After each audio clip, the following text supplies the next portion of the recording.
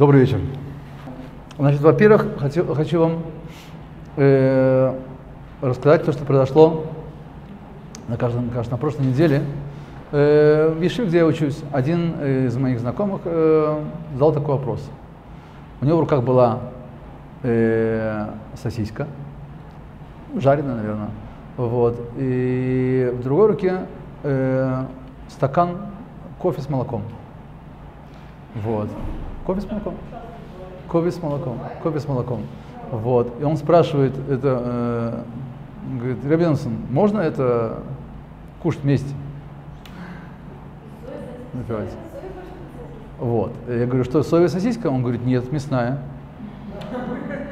Вот. Я, это, молоко соевое? Он говорит, да, молоко соевое. Спрашивает такой вопрос. Спрашивает такой вопрос.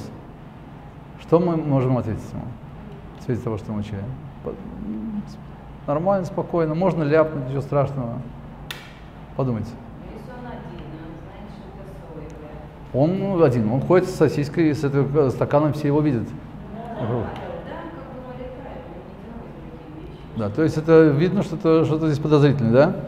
Человек кошерный, с, это, с пейсами, черной кипе, а запивает это сосиску этим, да? Вот теперь, э, ну, давайте покажем, что, ну, видите, что люди не знают, что есть соевые сосиски или не знают, что есть соевые. Мы говорили с вами так, что мы приводили пример с молоком э, халавшкидим, миндальное, миндальное молоко, да? Да, что должна рядом стоять упаковка. Но при этом, как раз тому, что вы говорите, мы говорим о том, что есть вещи распространенные. Уже все это знают, что есть такое, есть такое, и поэтому по идее, здесь э, не должно было быть, знать, что есть соевое молоко, и знать, что есть соевые сосиски есть. Вот. Э, но и в данном случае правы, что можно было бы разрешить, но поскольку все-таки э, люди не привыкли к этому, и сказать однозначно, что не вызывает это подозрений, вот, мы не можем. Пришел в Ишиву какой-нибудь там э, человек, который новый, новый, да и вообще экип, экипу одел э, позавчера.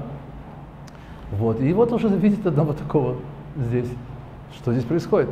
Да, вот, поэтому сказать однозначно, что э, э, разрешить это, вот, это не просто. Хотя действительно есть на кого полагаться, которые говорят, что поскольку все знают, уже это распространенная вещь, не подозрений. Вот, но мы говорили, что если это вещи, которые э, э, бывают такие и такие, все-таки это вносит путаницу. Бывает такое и такое. Так?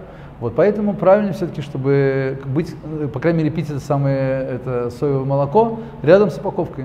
Оно стоит там, вдруг невозможно взять его в обе руки, но взять возле нее, по крайней мере, пить там. Либо кушать по отдельности. Совершенно верно. Так, э, теперь, касаясь прошлого занятия, напомню, о чем мы говорили на прошлом занятии. Э, мы говорили о том, что э, у нас э, Э,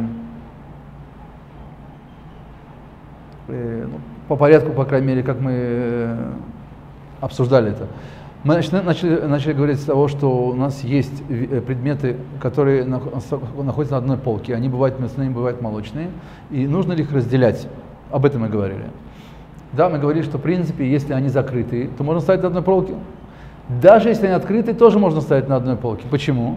Потому что, как правило, люди, когда видят мясное и молочное рядом, они на стороже, они не будут э, делать э, неправильных действий. В этом плане, кстати, получается, что если находится на полке, допустим, какая-то вегетарианская еда и, молоко, нужно больше опасаться, нежели когда он находится мясной и молочный, потому что там люди осторожны.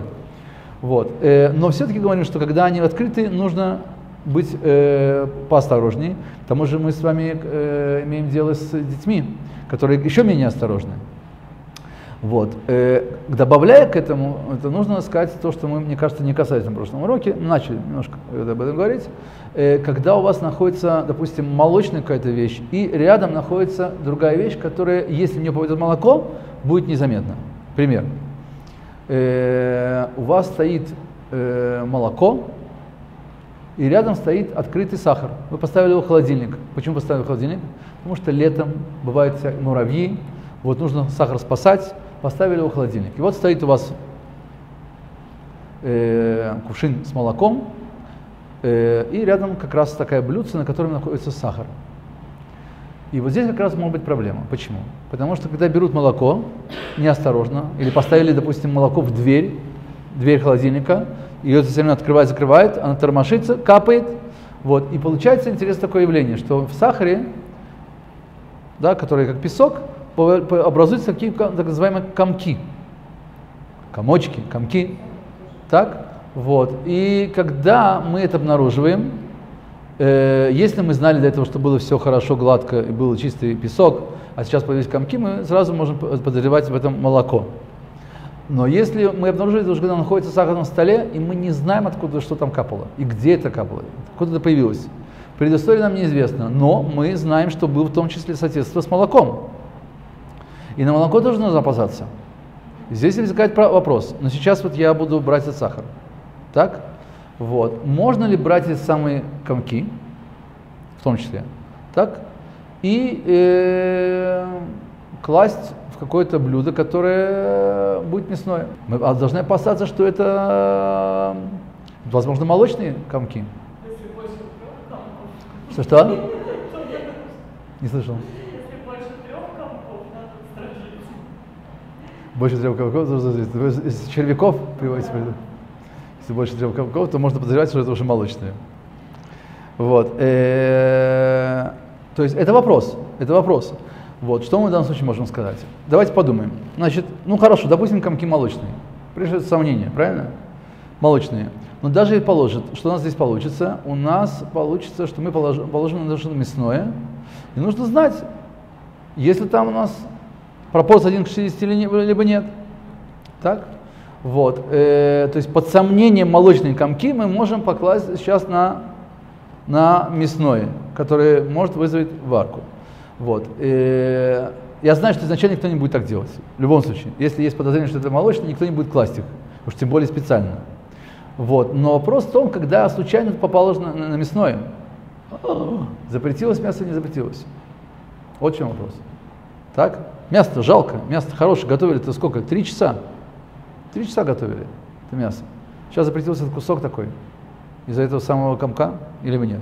Вот. Надо не торопиться с этим. Возможно, вполне не запретилось.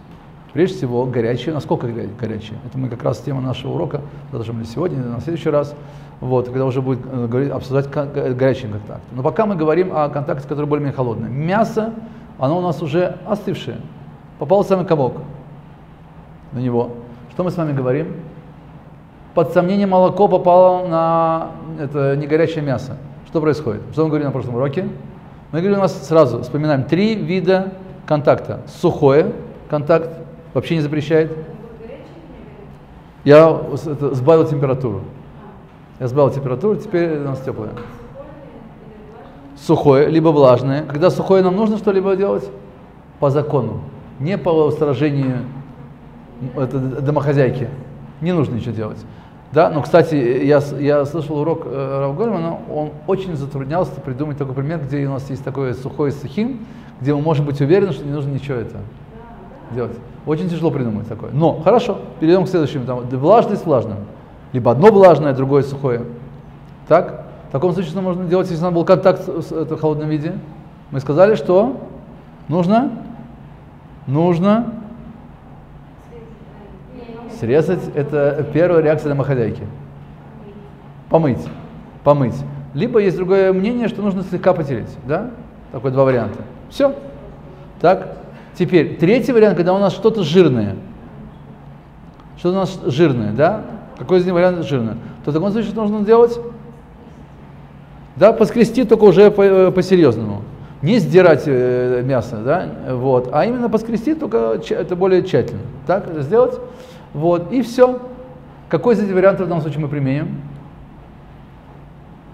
Комочек. Какой он категории у нас? Жирный, нежирный, влажный? Жирный.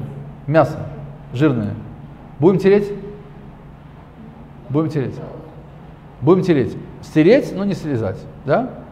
Теперь, э, значит, единственное, что важно знать, что изначально, если такие есть комочки, все-таки быть осторожным с ними, их не класть.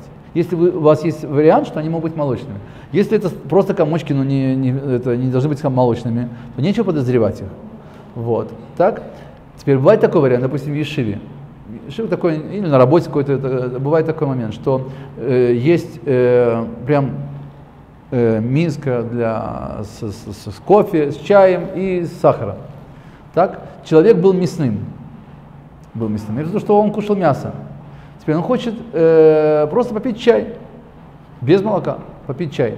И он набирает этот самый э, сахар с комочками. Так? Последний э, пакет, у нас как раз был так решили. Подошел один, хотел попить чай, чая нет. Закончился чай. Вот. Э, ну, дали ему, дали ему пакетик, в общем, это, это начал себе готовить. Вот. Но вот если бы он, как бы, это был единственный пакетик, теперь он взял, бросил самый это, сахар с комочками. Ну, теперь что, расставаться? Не, не, второй не надо пакет, пакет уже. Расставаться с чаем, выливать его? О. Мы говорим, что... А? Ну, горячий чай, не мясо. Что мы с вами говорили? Мы с вами говорили с вами так, следующее. Мы с вами говорили так. Да, правильно. Прежде всего, линия закона по Ашкиназам – это час. Традиция устражает 6 часов. Но мы с вами говорили, когда у нас есть всякого рода сомнения, то в некоторых случаях это уже можно облегчать. Посмотрите, сколько у нас сомнений здесь с вами есть. Комочек не факт, что он молочный. Так? Возможно, просто кто-то запустил туда влажную ложку, она свернулась, простая вода. Так? Может быть молочная, а может не молочная. Положите самый, самый комочек. Сколько там может быть молока, в конце концов, на эту чашку? Вполне возможно, что уже аннулировалось. Так? Вполне возможно, что аннулировалось. Вот. И к тому же он уже знает, что у него прошел час-два там, э, из-за того, что он молочное, э, мясное. Вот. Поэтому можно пить. Зачем нужны разные соломки? Я вам скажу. Потому что не, это, может быть такое получиться, что вы, если вы привыкли к этому пользоваться, то рано или поздно кто-то сделает это близко к парам. И когда уже идет прямая струя, и даже, возможно, брызги. Понимаете?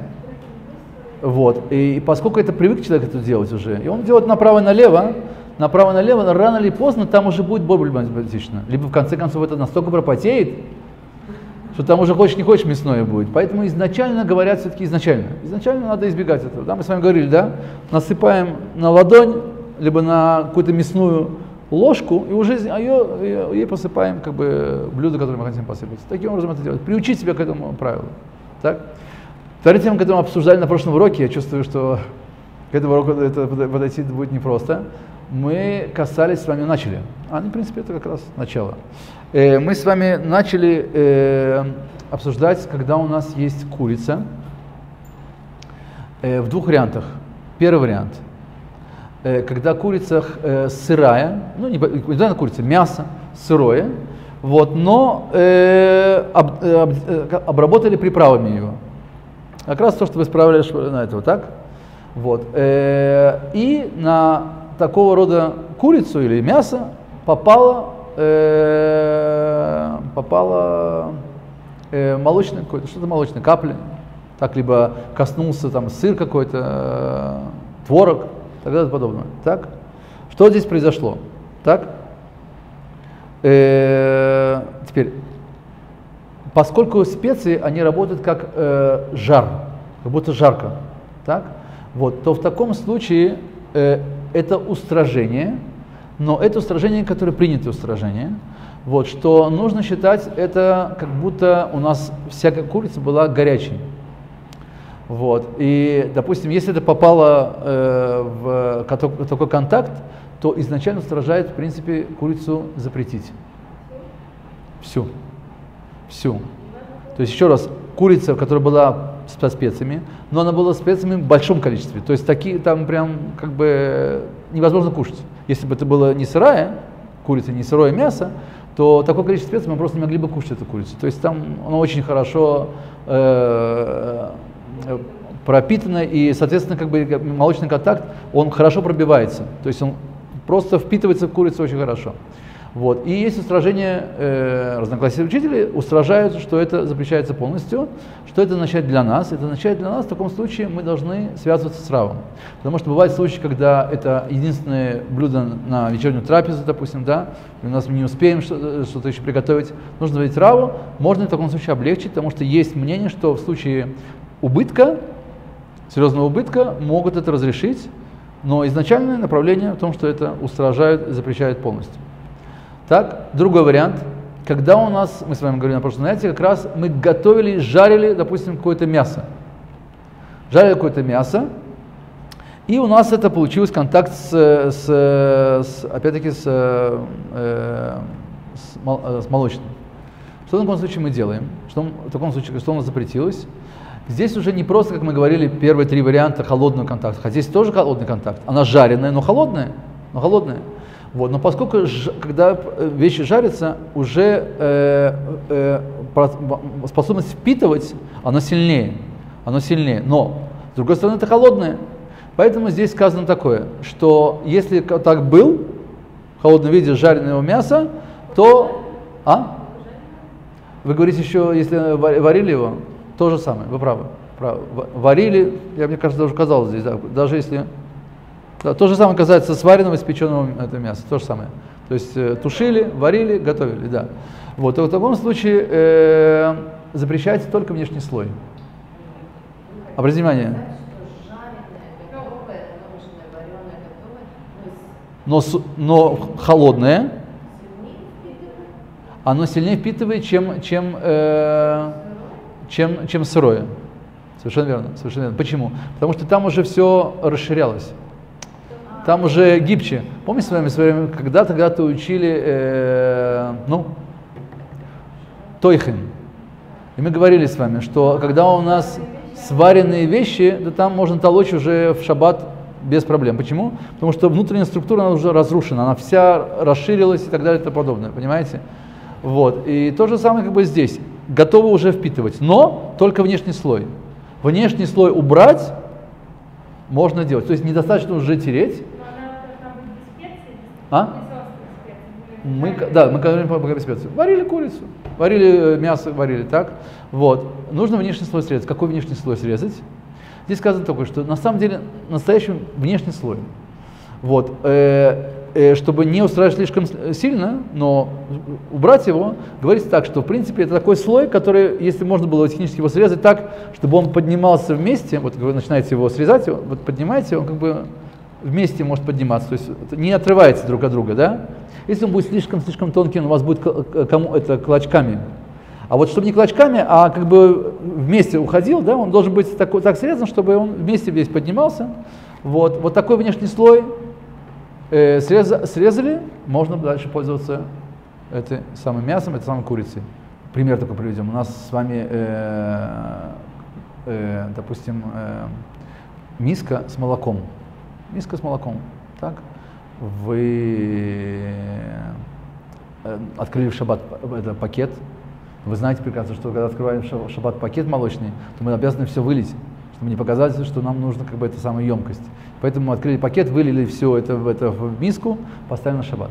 После шаббата взяли эту миску, поставили, вот, ребенок неосторожно проносил тарелку с, с, с, со шницелем, вот, э, так, и он упал, э, ну шницель это, это ну, там, вот, допустим, курицу, курица, она более гладкая, да, вот, вот, он упал в эту самую миску, что он?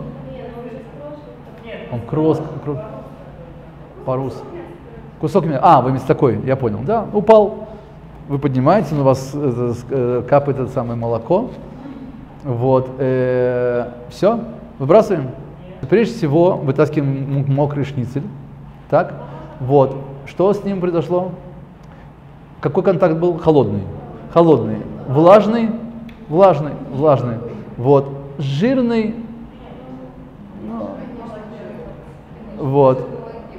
Вот. То есть, что мы нужно делать теперь? Он весь пористый, это, это, это готовый, готовый уже, прожаренный.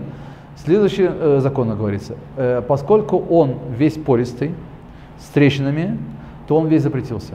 Если бы он был бы у нас не такой, а у нас был бы гладкий, готовый, готовый, допустим, курица сваренная, так, попала в такое молоко, так, вот, то в таком случае мы просто что делаем? Мы вытаскиваем, моем курицу, можно там, где для подозрения там потереть, курица готова для дальнейшего использования.